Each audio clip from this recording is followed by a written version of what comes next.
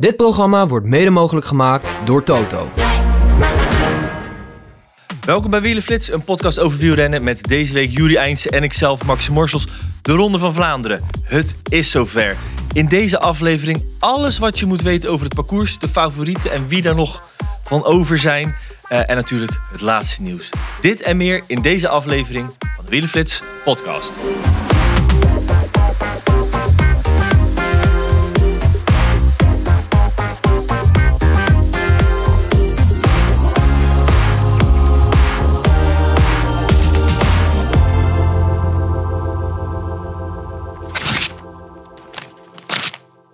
Doe jij nou? Dat kan weg. De hele voorbereiding. kan zo de prullenbak in. Ehm, want ja, de helft van eh, het lijstje der favorieten is uh, gebutst en uh, gehaveld na die verschrikkelijke val in dwars door Vlaanderen. Geen Wout van Aert, het is al een zekerheidje hoe goed Mats Pedersen nog opgelapt gaat kunnen worden. Ehm, dat is nu een van de grote vragen.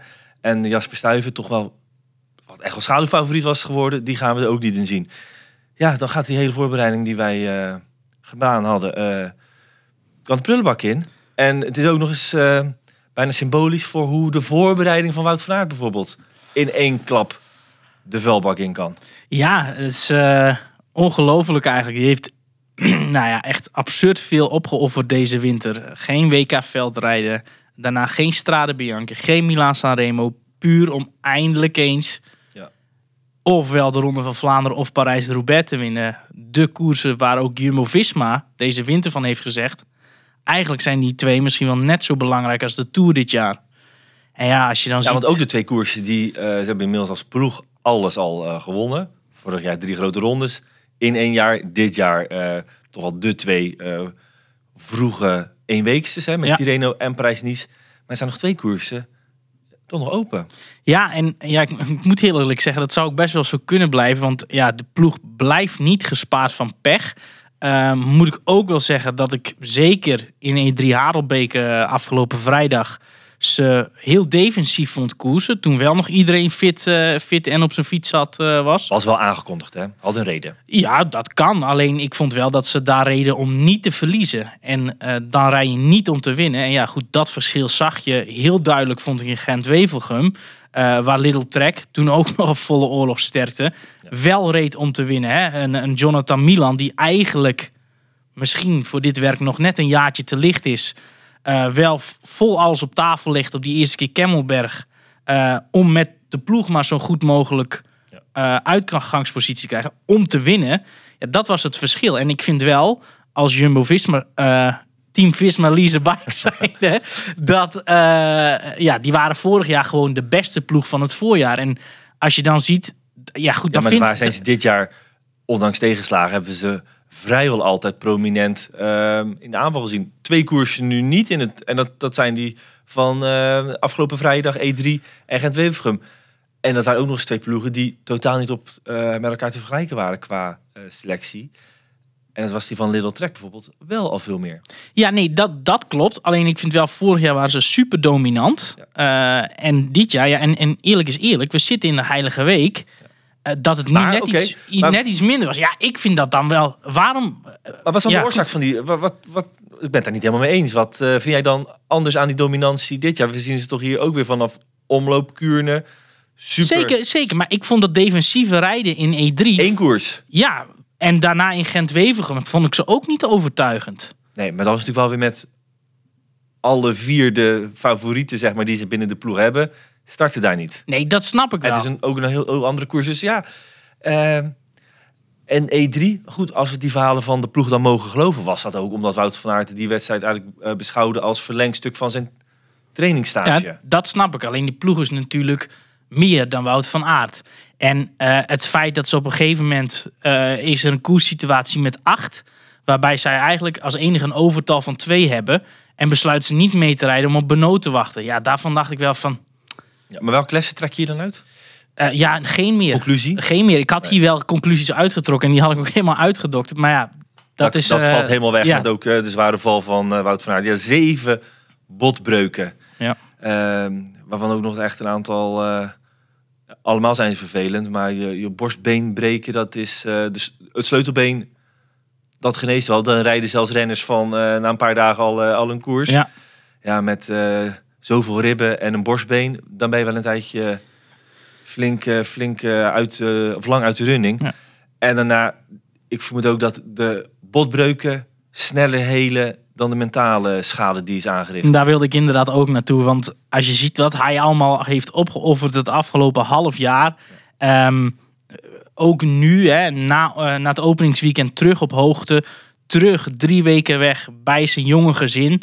Ehm, ja, al die opofferingen zijn gewoon voor niks geweest. En dat, is, dat lijkt me mentaal zo lastig. Plus ook het feit, met deze blessures...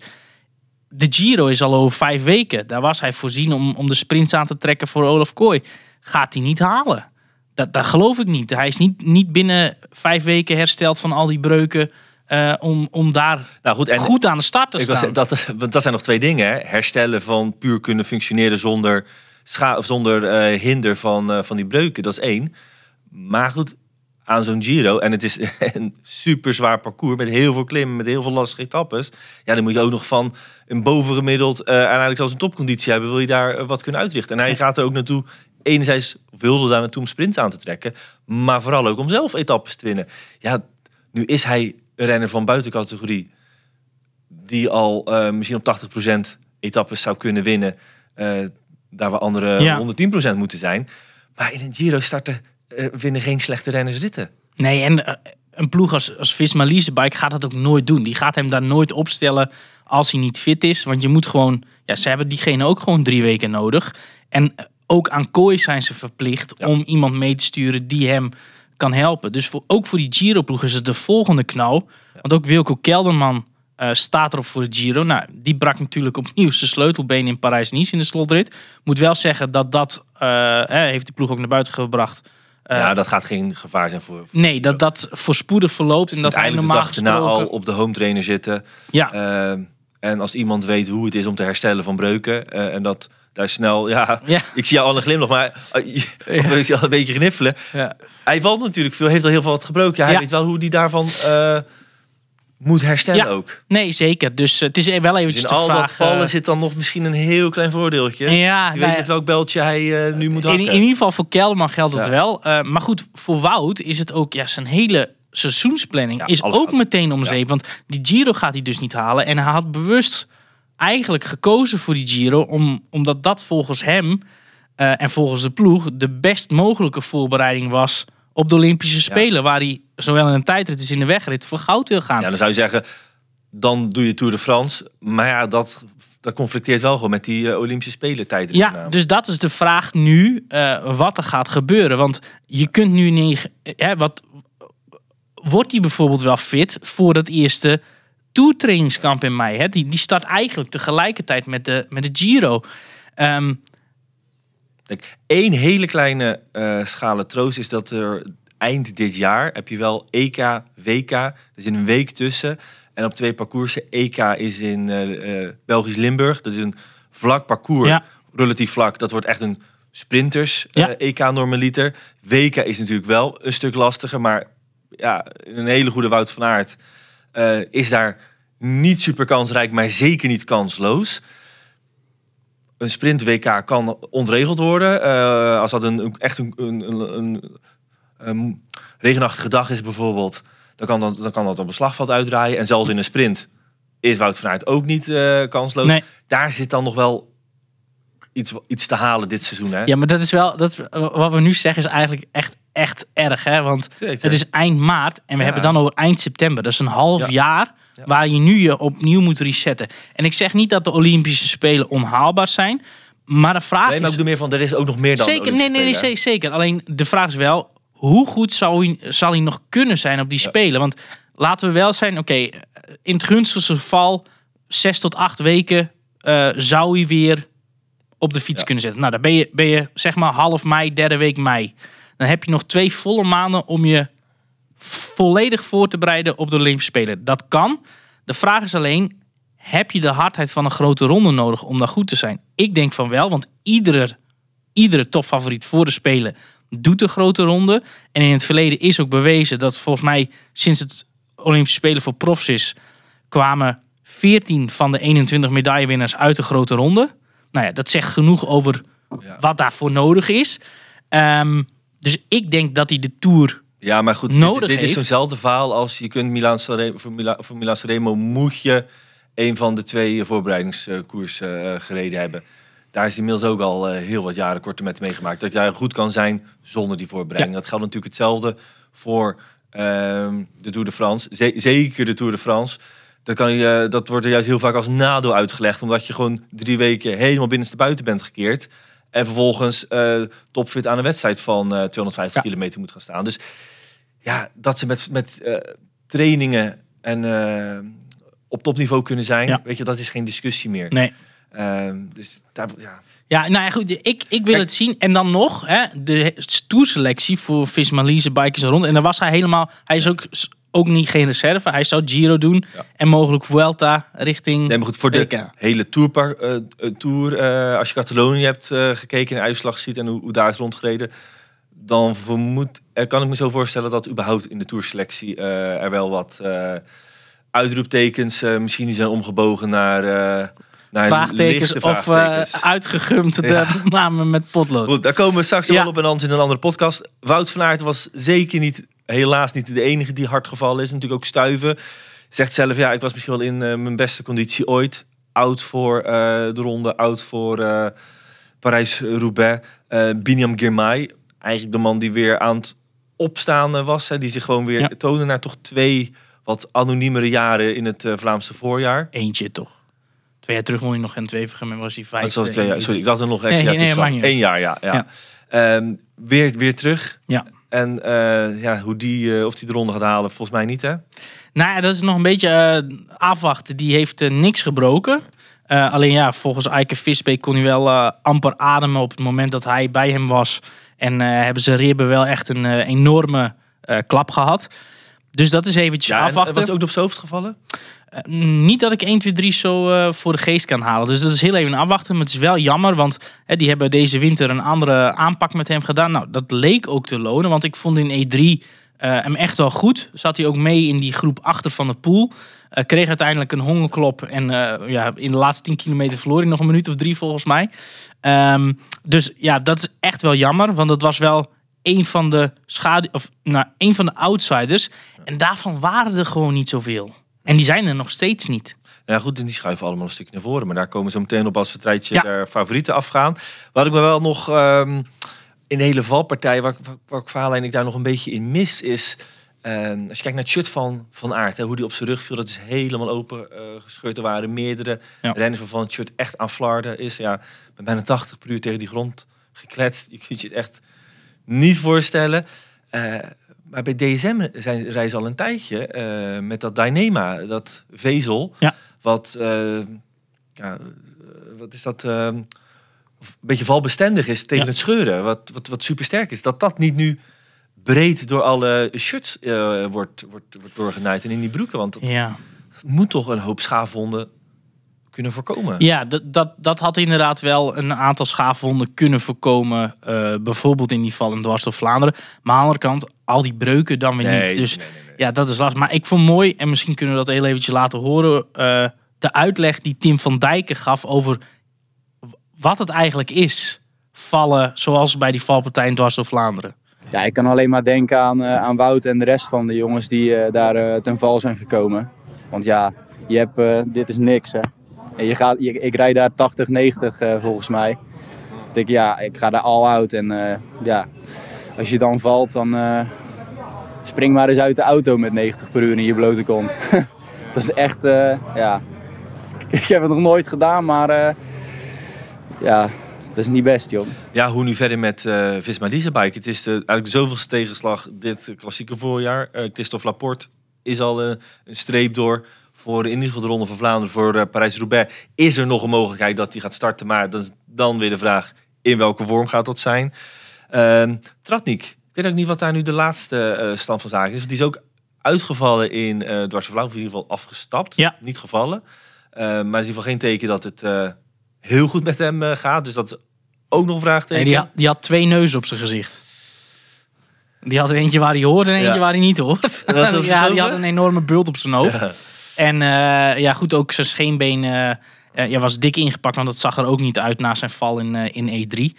Ja, het is even afwachten, maar ja, goed, dat hij ook vroeg moest opgeven in Dwars door Vlaanderen is geen fijn teken aan de wand. Nee, Dylan van Baarle, ziek voor Dwars Vlaanderen. In, als hij de ronde haalt, ook in welke vorm gaat dat dan zijn? Ja, goed, ik zeg altijd ziekte en, en, Ja, en oh ja. super hoofdvorm. Dat is een echt, nou, je kunt het bijna niet tussen je vingers nemen, zo'n dun draadje. Maar het is bij Van Baarle wel het geval.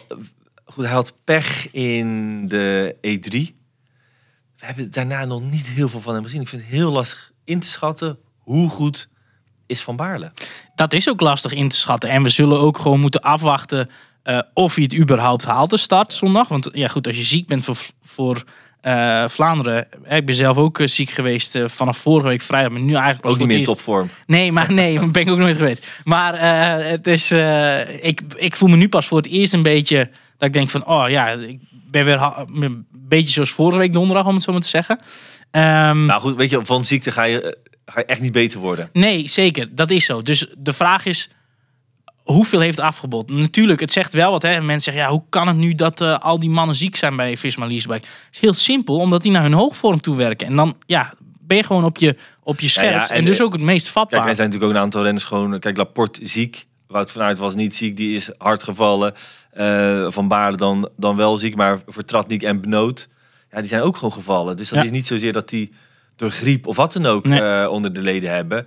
Maar meer ja, dat ze gewoon... eh botten gebroken hebben. Ja, ja goed. En, en hoe nu verder met Visma Leasebike? Ja, ik verwacht dat ze net als vorige week in E3 een heel defensieve rol zullen aannemen. En gewoon niet meer ja, eh, de koers in handen nemen zoals ze eigenlijk de laatste twee jaar hebben gedaan.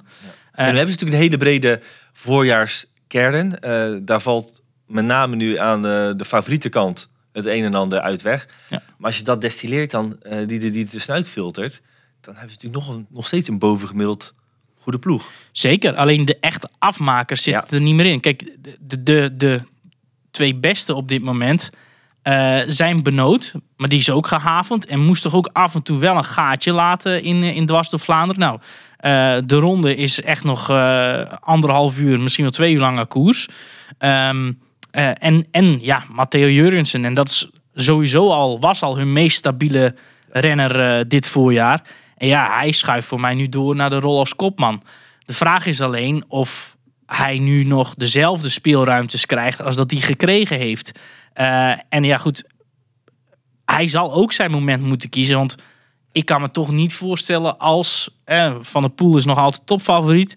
Als die ergens een duivels bindt, is Jorgensen niet het explosieve type die daar meteen ehm, eh, ja, zijn, zijn, zijn, zijn, Hij gaat antwoord op heeft. Precies, hij gaat moeten, eh, een beetje op kousenvoeten moeten wegspringen Ja. waarschijnlijk. En dan hopen dat, er, dat het gat niet gedicht wordt. Nee, maar dat, dat lijkt me nu gewoon lastig met de status die hij heeft, omdat iedereen om hem heen is Maar weggevallen. moet natuurlijk wel de benen hebben. Dat ook, ja, zeker. Dat, daar, daar begint het eigenlijk bij. zeker maar dat is wel de. vorig jaar ja. negende, eh, dat was zijn eerste ronde van Vlaanderen. Hij kan dit eh, parcours aan, heeft dus ook wel eh, de was wel natuurlijk op, op best wel wat tijdsverschil. Ja. Ehm, maar kent in ieder geval eh, die lengte, kent het eh, parcours heel goed.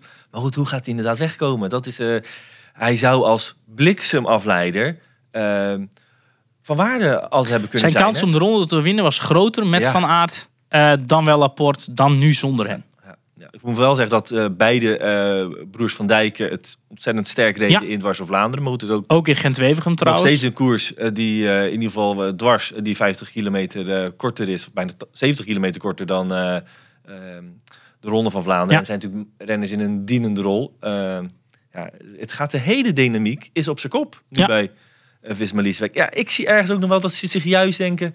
we gaan ons eh, eh, niet laten kennen en eh, vol vertrouwen erin. eh, want ze hebben die werkpaarden die met, met Affini, eh, met de Van Dijkers, misschien wel met een Vermoten... dat ze wel in principe die hele koers kunnen controleren.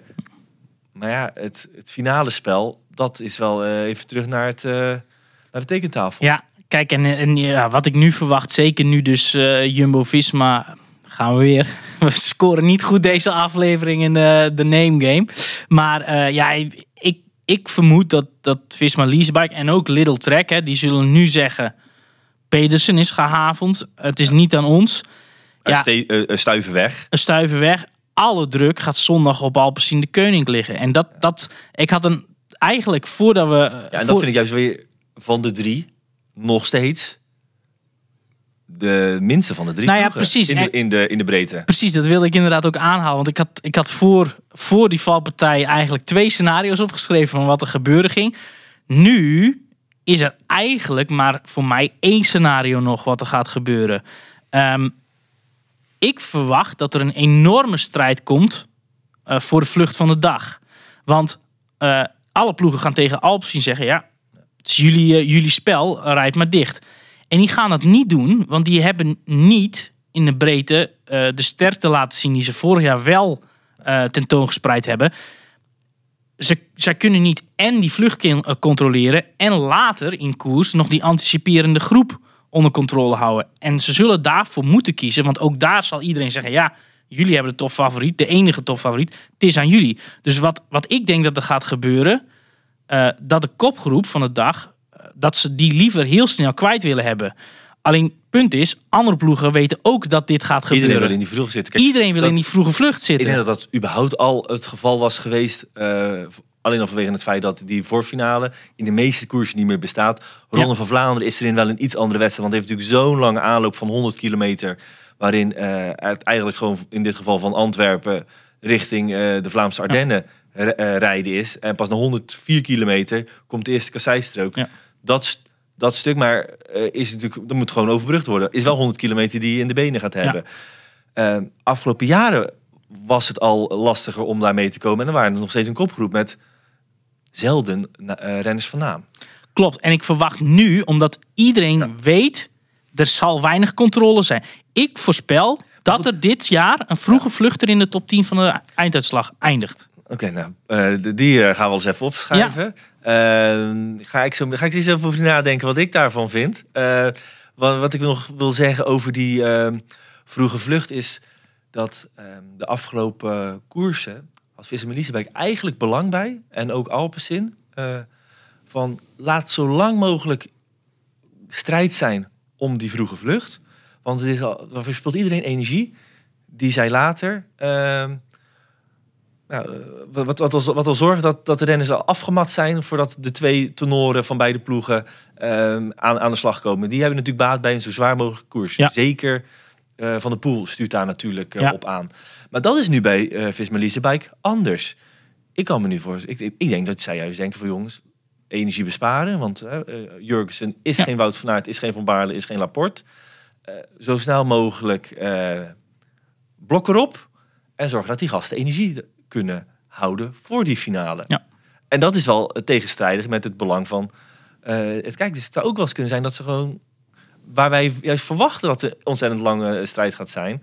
dat er toch de acht man met drie daarvan van Bingo, Wallonie, Bruxelles eh, en, en, en dat soort ploegen... hebben weg. En dat toch een voorfinale... Dat er weer een voorfinale Ja. komen die we dit seizoen nog niet gezien hebben. Nee, ja, dat, dat verwacht ik dus niet. Maar dat komt puur omdat ik vind dat er gewoon eigenlijk geen outsiders zijn. Eh, die waren er al weinig. En nu schuiven, hè, wat jij ook zegt, nu schuiven die eigenlijk op. Ehm, ik verwacht dus echt een enorme strijd. Een lange strijd voor de vroege vlucht. Wat krijg je dan? Dat er uiteindelijk een vlucht wegrijdt met sterke renners. Die dat dus kunnen. Die, misschien duurt het inderdaad wel. Hè, krijgen we twee uur lang koers. Die 100 kilometer worden in twee uur lang weggewerkt. Eh, en dat je vervolgens op die eerste kasseistrook een aantal renners krijgt die wegrijden. Ik heb er ook een aantal opgeschreven die ik daar, eh, nou ja, die, Die, die categorie... eh, ploegen die gebaat zijn bij deze, en dat zijn er gewoon heel veel. Hè. Je hebt, eh, ik heb bij Soedel Quickstep, hè, het is een ploeg die echt in de, in, in- nou ja, overal wordt weggereden dit voorjaar. Ehm, daar heb ik in Gent-Wevergem een hele goede Gilles eh, Gelders gezien. Altijd een lekkere tongbreker is dat. Eh, neoprof, jong, maar was wel dominant in de klassiekers vorig jaar op. Dat zegt natuurlijk niks over de profs. En als een jongen mee eh, gaat in die vroege vlucht, houdt hem daar rustig en die komt een heel eind. Maar bijvoorbeeld ook, rijdt ook geen deuk in een pakje boter dit jaar. Wat nu als Moscon in één keer mee zit. Moi, ehm, E3, 93 kilometer eh, eh, voor de finish. ik heb het, eh is een keer een kilometer aantal scherp, Jury. Het beeld gaat op peloton. Moscon opnieuw ehm, prikken van de pool in het wiel. Maar ja, dat was het daarna ook. Ja. Hè? Ze waren heel actief Ja. op halverwege koers. En op het moment dat het er om moest, eh er om ging, toen waren ze nergens. Nee. Maar goed, het is wel, dat, zeker, dat is iemand die... Dat, is- en, en die kan dan overleven. Ehm, we hebben allemaal gezien, Antonio Morgado werd tweede in Le. Zegt iedereen, ach, Le. Klopt. Alleen die is juist meer gebaat bij, bij koersen met hellingen erin. Dat ligt hem eigenlijk veel beter. Eh UAE is er ook gebaat bij. Die hebben met Wellens een van de weinige outsiders. Poliet rijdt goed in de ronde. Die hebben er baat bij, want dan hoeven zij niks te doen. Eh, en, en Morgado zit in die kopgroep. Bora Hansgrohe heeft helemaal zelfs geen outsider. Maar wel allemaal sterke renners. Met Meus, met Marco Haller, Nico Dens, Danny van Poppel. Zijn allemaal sterke gasten die twee uur lang dat aanvallen kunnen overleven. En dan een heel eind mee die finale in kunnen. Age de Zer, quasi de hele ploeg. Boasson Hagen, Dries de Bond, Sander de Pestel, Damien Touzé, Bastien Troujon. En dan hebben ze ook nog Olivier Naasten en Pierre Gautera.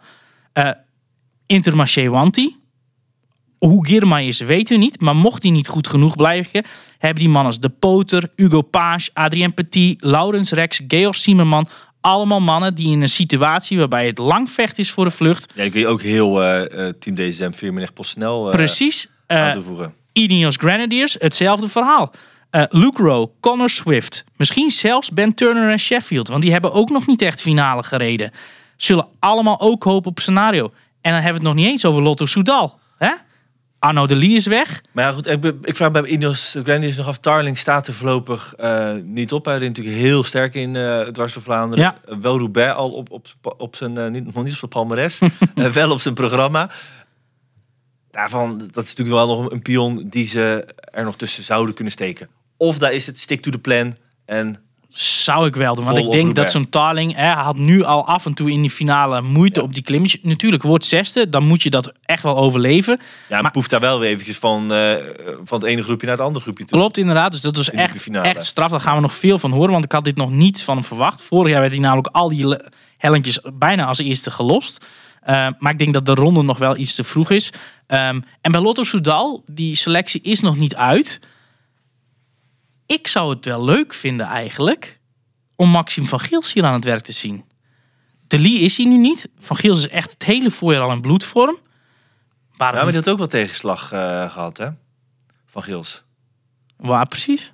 Dat heb ik even gemist. Ik ben er drie weken tussenuit geweest. Dus het kan best zijn dat ik dat ik gemist dat, in heb. ieder geval, eh, dat, of, of dat het bij hem, eh, bij hem tegen eh, viel. Ik ga het even opzoeken. Ja, dat is goed. Ik zal ondertussen... Nou ja, goed. En je hebt ook nog Uno X. Die zullen met iedereen willen meezitten. Want Christophe is dit jaar, voorjaar echt, nou ja, niet in vorm. En misschien is dit zelfs wel het jaar te veel.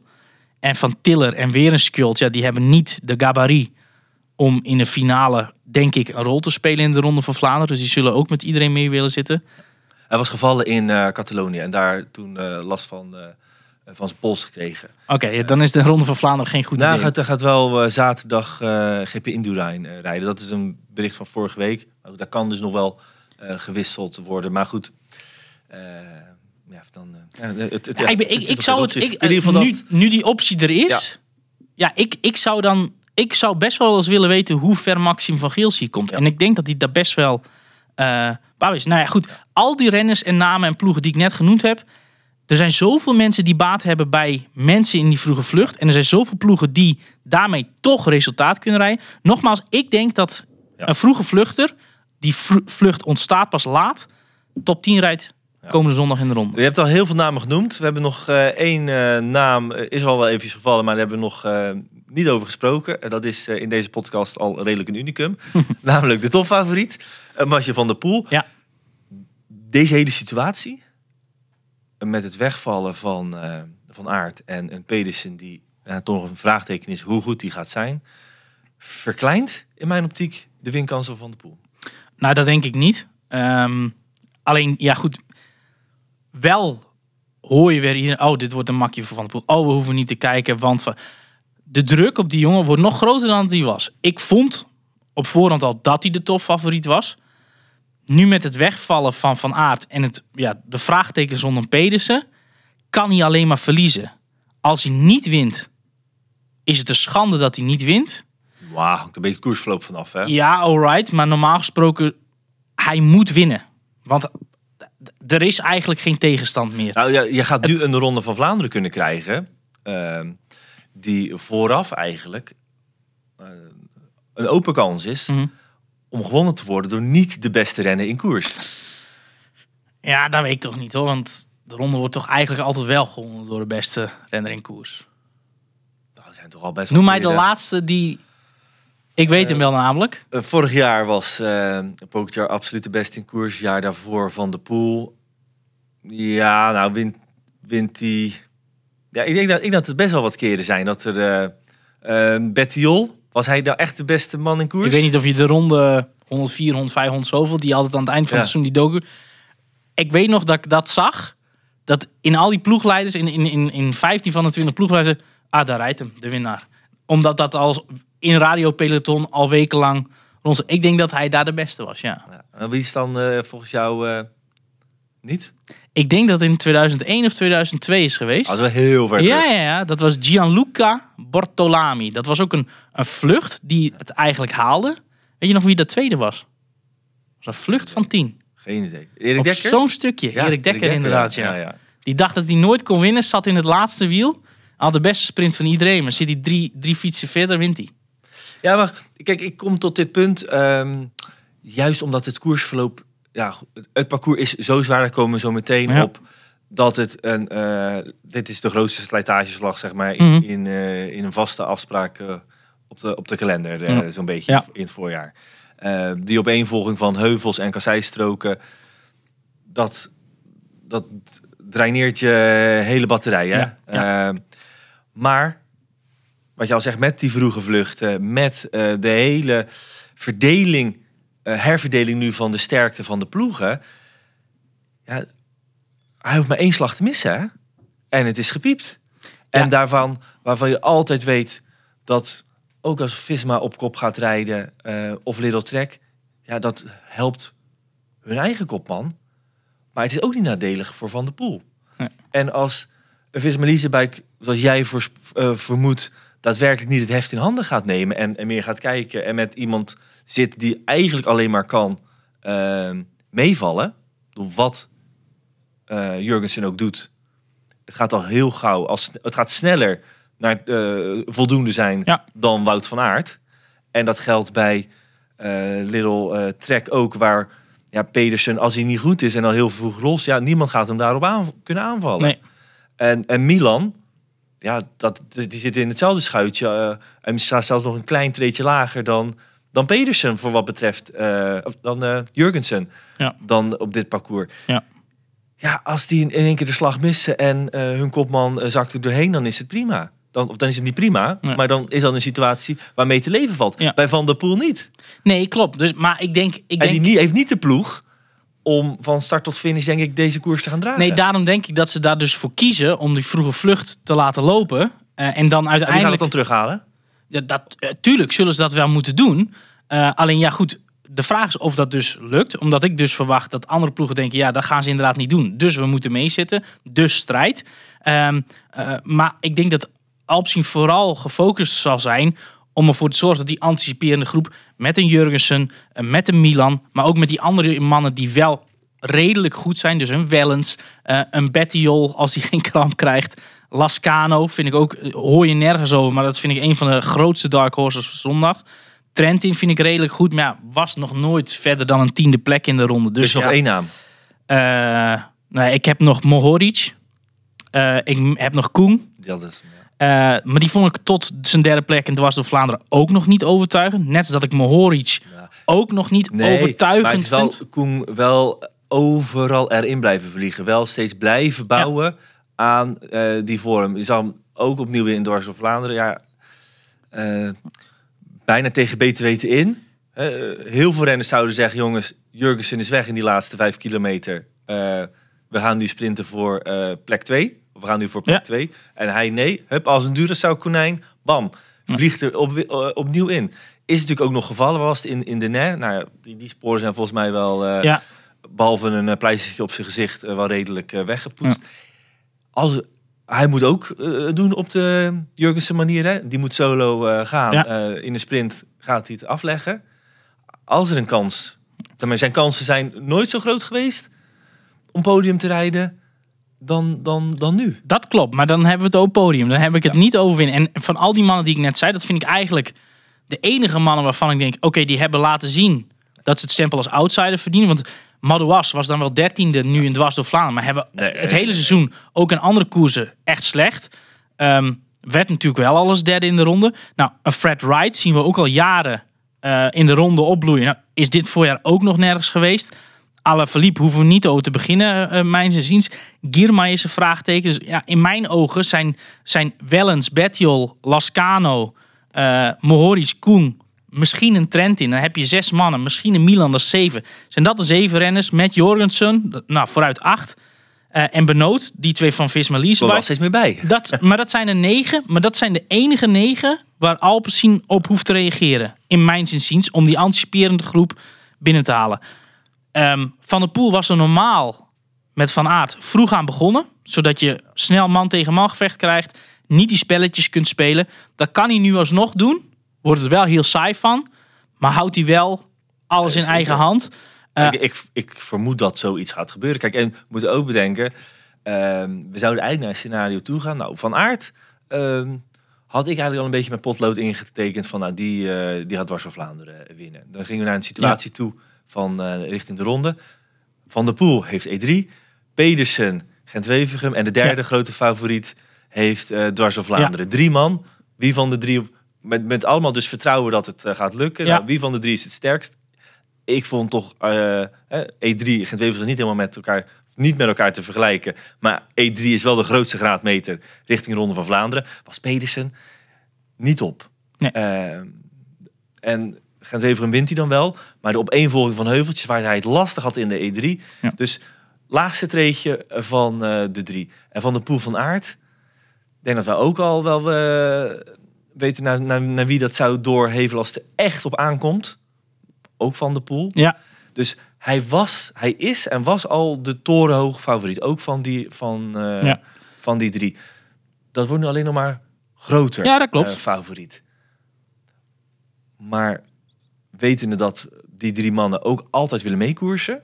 En dus dat je vroeg of laat, zeker bij derde keer, eh Kwaremond en, eh en Patenberg, met wellicht die drie en dan nog wat Ja.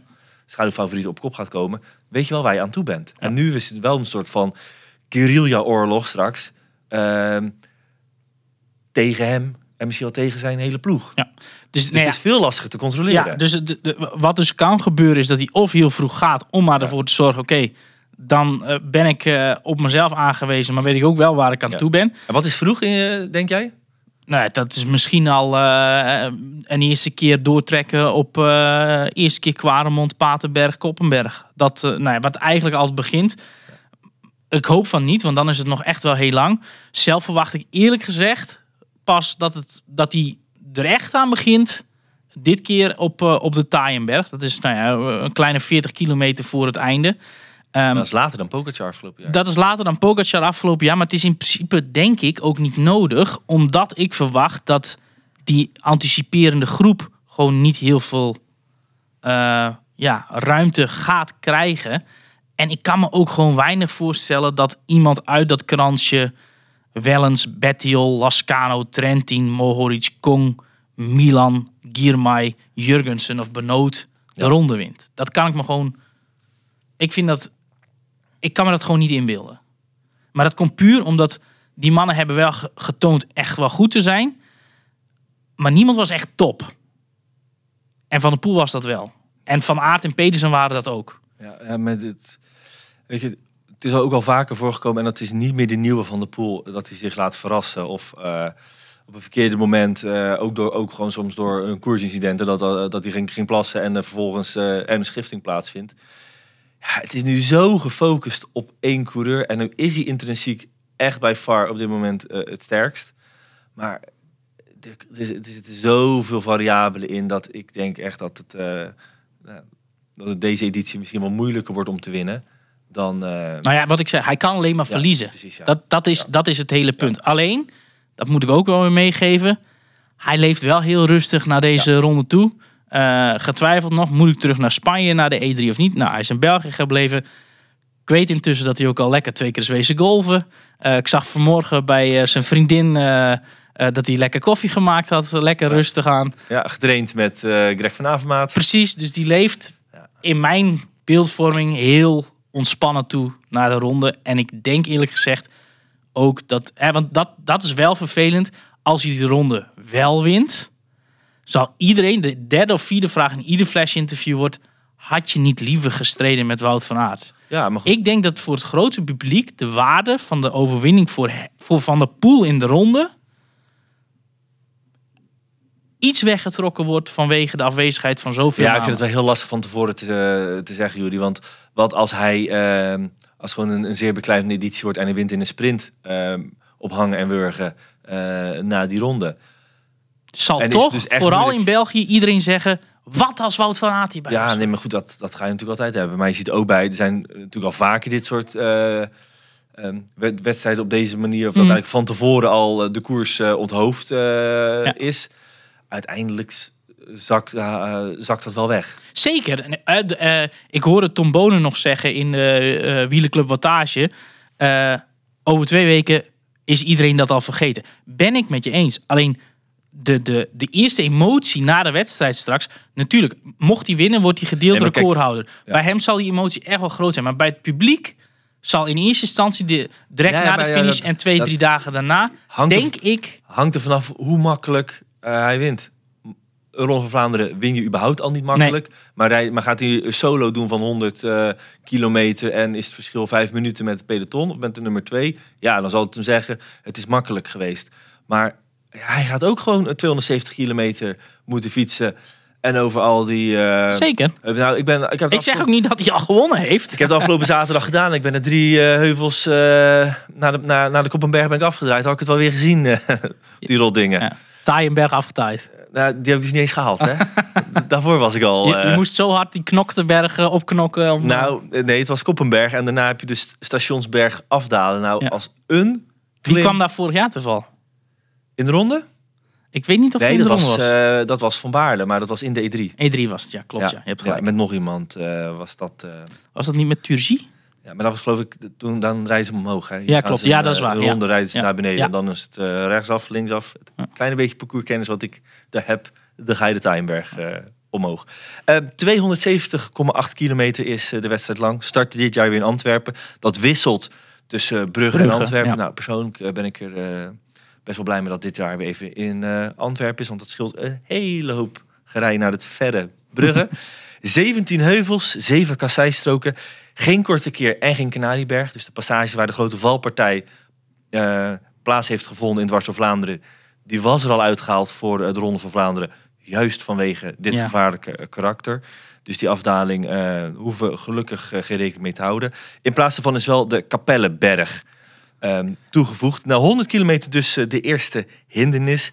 En de finale die is eh, ongewijzigd. Met dus, eh, uiteindelijk begint dat met de tweede keer Oude Kwaremond. Dan de Patenberg, Koppenberg, de Steenbreekdies, de Taaienberg. Waar Ja. uiteindelijk de finale vaak dan echt wordt Ja. geopend. Overigens, Eh, nog een opmerking over die Koppenberg. Daar reizen ze nu ook anders naartoe. Ehm, waar ze normaal via dat slingerweggetje naartoe reden en dan rechtsaf Ja. de Koppenberg op, komen ze nu... eh, ja, eigenlijk de weg die er recht op afrijdt, eh, komen ze op afrijden. Puur om daar ook eh, ja, dat smalle paadje Ja. en dus eventueel gevaar Ik te vermijden.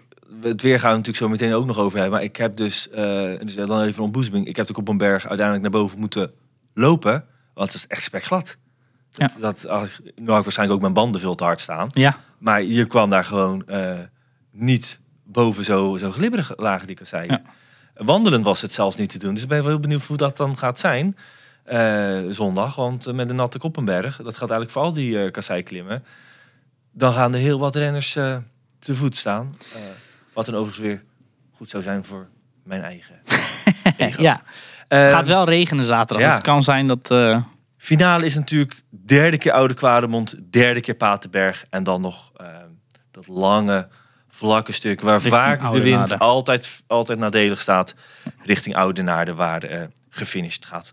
Nu valt het overigens enigszins mee als we dan meteen met het haakje weer doen.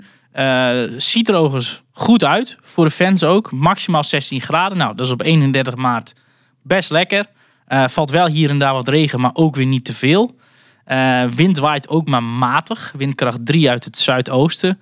En daardoor krijgen de renners dus in de laatste rechte Ja. 13 kilometer vanaf de top van een Paterberg naar Oudenaren eigenlijk de wind in de zij. Het is een lange zit, de Ronde van Vlaanderen. Dus ja, ik zeg, 270 kilometer moet er gekoer- gekoerst eh, worden. Dat is meer dan eh, zes uur vaak. Ehm, als je zegt van ja, ik, ik weet niet of ik dat de hele dag voor de buis ga zitten.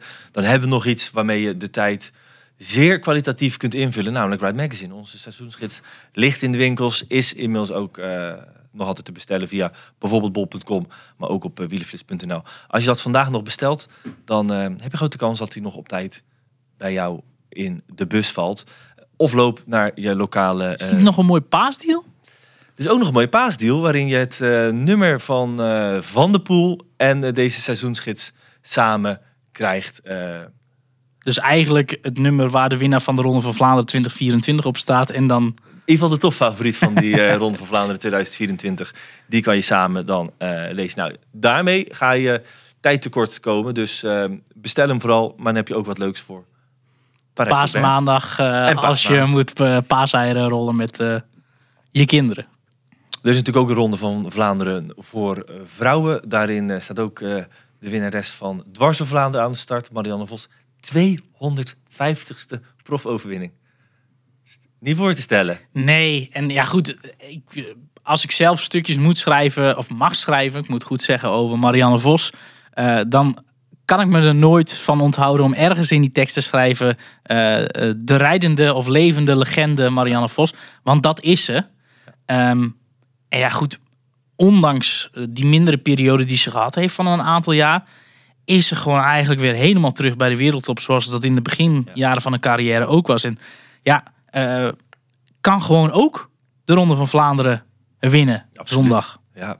Eh, en ook eh Roubaix, wat natuurlijk nog bij haar eh, open staat in Ja. deze vorm. En deze gretigheid die er nog altijd in zit. Ja, onvoorstelbaar eigenlijk. Mooi om dat weer te zien. De vrouwen die rijden 163 kilometer, de start en de finish in Oudenaarde. Ehm, vorig jaar hebben ze daar een lus eh, uitgehaald. Die is nu weer terug. En daarbij ook eh, eigenlijk de opeenvolging van eh kasseistroken en ehm, de bekende heuvels eh, daar. En ook hier de, is de finale ietsje anders. Dat is op eh, 36 kilometer van het einde is dat Taaienberg, Oude Kruisberg, slash Hoton is dat. En dan Kwaremond, Paterberg. En dan de identieke lus terug richting Oudenaarde. Ehm Vollering staat aan de, start. Kopecky. Maar over eh, daar kwam eh, eigenlijk vlak voor het dat de valpartij gebeurde in Dwars Vlaanderen eh, natuurlijk al nieuws van naar buiten dat haar wat De pushmelding van wie? ah de pushmelding ja ja het kwam onder andere met een pushmelding goed dat je het zegt maar dat wilde ik eigenlijk nog laten Oh, bewaren sorry. dat we inmiddels pushmeldingen in de app hebben. Daarvan was dit er eentje en dat werd hier en daar opgepikt. Dat vonden wij natuurlijk leuk om eh, te horen en te zien. Dus voor het laatste, wil je echt het breaking nieuws ontvangen, check dan eventjes eh, de app waar je via het hamburgermenuutje pushmeldingen kunt, eh, kunt ontvangen. Voor heel veel verschillende onderwerpen. Vond ik heel interessant. ja, inderdaad. Maar daar later, later meer over, want daar zit nog wat.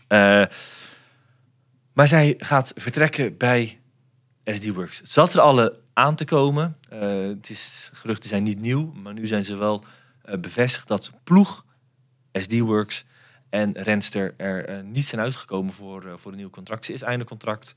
En dat betekent dat ze de ploeg gaat verlaten. Opvallend, hè? Ze is de winnares van eh, de Tour de France Femme onder andere. Alle successen in, deze, in dit team eh, zo'n beetje behaald. Maar ze gaat toch andere oorden opzoeken. En eh, goed, er is al een keer laten vallen dat er mogelijk een miljoen geboden is door ehm, eh, UAE Emirates, de vrouwenploeg. Eh, team, eh, nee, UAE Team ADQ heette die ploeg. eh, waar Jana Seel nu ook eh, eh, terechtgekomen is. Die voorheen eh, in het mannenpeloton de scepter zwaaide bij Astana. En toen eh, eh, chief business werd bij eh, Lotto Destiny. Maar daar is vertrokken eh, per 1 januari. Nu dus daar bij die ploeg. Ehm, en het lijkt erop dat dat ook haar nieuwe ehm, bestemming wordt. Eh, volgens mijn informatie niet voor een miljoen euro, maar voor 8 ton. Dat is nog steeds een heleboel geld in het wielrennen. Eh, ik krijg iets minder bij Wielenflits, maar eh, ja, absurd veel geld. Ietsje maar. Ja, absurd veel geld. En ehm, ja, dat, het lijkt er nu toch stevig op dat dat ook daadwerkelijk staat te gebeuren. Ehm, Ik ben vooral heel benieuwd dan welke rensters zij meeneemt. Bij dit soort transfers zie je altijd dat, dat eh, zeker in het mannenpeloton in ieder geval, dat als zo'n grote kopman eh, vertrekt, dat hij dan één of twee renners eh, meeneemt. Ja. Wat gaat dat gebeuren hier bij de overstap naar de UAE? Wie neemt Vollering nog mee van SD-Works? Nou ja, dat is dus interessant. Want ja, goed, hoe, hoe komt nieuws tot je? Nou ja, goed, daar kan ik natuurlijk niet te veel over uitweiden. Ehm, ehm, maar het is dus inderdaad wel gebeurd dat eh Vollering binnen SD-Works ook een aantal ploeggenoten eh, zou hebben gevraagd van... Goh, zou jij niet met mij mee willen? En zodoende is eigenlijk dat nieuws best wel snel ehm, ja, op straat komen te liggen. Ehm, eh, de vraag is dus ja, wie dat gaat doen. En vooral, wat betekent dit voor de cohesie binnen SD Works? Want krijgen we nu straks, ondanks dat ook in de nieuwste Ride Magazine dubbel interview met Kopecky en Vollering, waarbij ze elkaar eh, bij wijze van nog net niet omhelsden en zoenden, zulke goede vriendinnen waren. Ja, hoe hecht is die vriendschap als zometeen de helft van de ploeg voor Vollering eh, gaat rijden en de helft van de ploeg voor Kopecky? Ja, het gaat in ieder geval ehm, de koers eh, wel wat meer jus geven. Hè. Zeker als je ziet de wurggreep waarmee eh SD-Works door al haar sterkte... eigenlijk de afgelopen twee jaar zo'n beetje nou, de, de koers letterlijk in de wurggreep wist houden. Ja. De, hun wil was heel vaak wet. Nou, daar hebben we dit jaar al van gezien dat er toch af en toe die code al eh, gekraakt is. Ja, dat gaat zeker richting deze Ronde van Vlaanderen. eh, en ook wat er daarna nog volgt.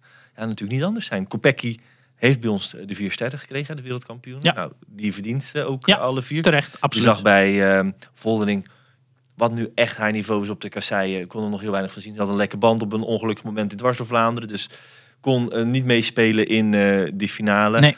Ja, dan heb je gewoon eh, ook Longo Borghini, die weer terug, eh, weer helemaal terug is. Vos eh, geldt eh, daar eh, hetzelfde voor. Ja, en ik ben nog altijd heel benieuwd naar Puk Pietersen. Eh, kwam in Gent-Wevergem, eh, ja, zat daar gewoon eh, hartstikke goed mee hè, met, Ja. met alle, maar eh, niet, ehm, geen solo van, eh, van, van, van mogen waarnemen. En daar ben ik wel benieuwd hoe zij dat in. eh, Ja, nou ja, op, op papier zou de ronde van Hara's ja, op het lijf geschreven moeten zijn. Dus ik ben inderdaad ook wel heel erg eh, benieuwd naar Piets. Maar Van Androoy, Ja. als Shirin van Aert, vond ik ook fantastisch rijden. oh, hoe, hoe ze ook het hele seizoen al eh Ja, absoluut. Maar ik moet ook heel eerlijk zeggen, we, we, we spreken bij de mannen heel erg over Little Track. Dat dat de ploeg van het voorjaar is.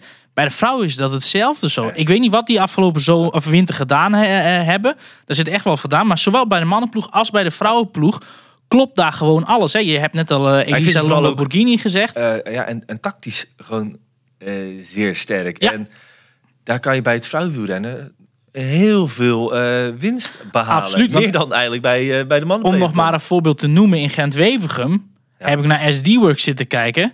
Daar snapte ik geen bal van.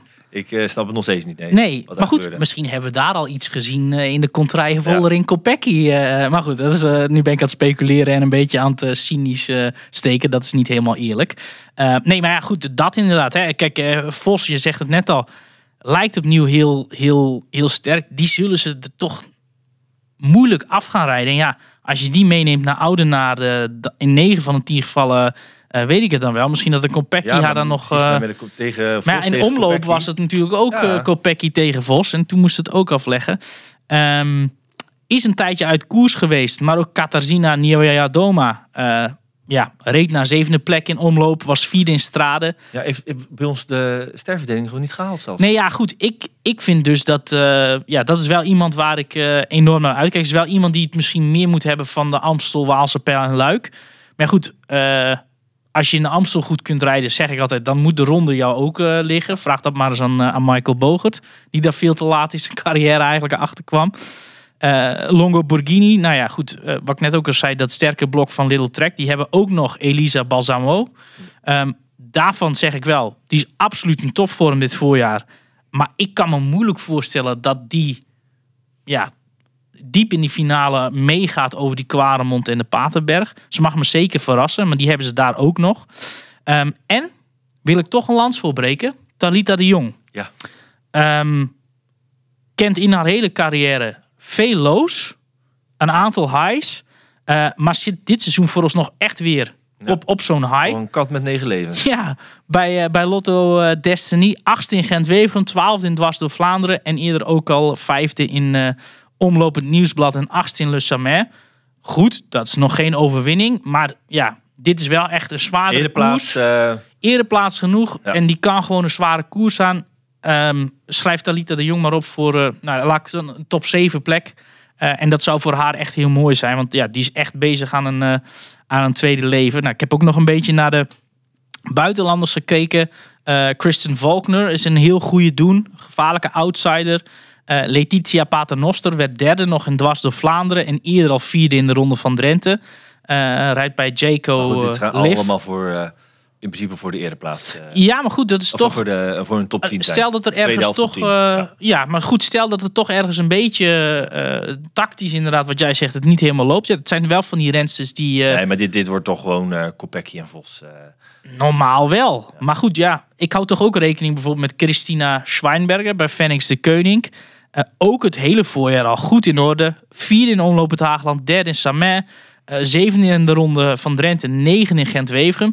Iedereen zal bij Phoenix de Koning naar Puk Pietersen kijken. En dat is voor haar misschien wel een voordeel. Ehm, maar goed, om terug te komen. Ik eh, ben het inderdaad ook wel met jou eens. Normaal gesproken is dit Kopecky tegen Vos. Maar ja, dan zullen ze wel een aantal andere renners moeten Ja, het kan losrijden. zomaar zijn dat de wedstrijd bij de vrouwen misschien wel meer spanning in het slot gaat hebben dan Ja. de mannen. Of dat zo is, dat gaan wij eh, zondagavond kunnen concluderen. Dan gaan we ook een nieuwe podcast opnemen eh, vanuit eh Oudenaarde. We hebben dus een grote update doorgevoerd van de app. Pushmeldingen zijn ook beschikbaar. Wielerflits BE is daarin beschikbaar. Download die. Vooral komen we ook weer hoog in de nieuwscategorie in de App Store. Ook leuk. Ehm, daar komen nog meer updates aan waarom we het in deze podcast ongetwijfeld nog gaan hebben. Vond je deze podcast leuk? Vind je überhaupt de Wielerflits podcast Ik leuk? wel. Beloon ons met vijf sterren op, eh, op Spotify ehm, of op eh, Apple Podcast. Wij zijn er dus eh, zondag weer. Ja, is een, hey, de, de Ronde van Vlaanderen heeft altijd een lange aanloop waarin veel gesproken en gezegd gaat worden. Dat is dit jaar nog wel wat eh, heviger door de, helaas die eh, grote valpartij. Maar dat Ronde van Vlaanderen een ehm, mooie en beklijvende wedstrijd gaat worden, daar heb ik eh, geen twijfel over. Want de ronde blijft de ronde. En die is van eh, start tot finish te volgen. Zondag ook op Wielerflits. Dank voor het luisteren. Heel veel plezier komende zondag. En eh, maandagochtend zitten wij weer in je podcastfeed met een nieuwe aflevering van de Wielerflits podcast.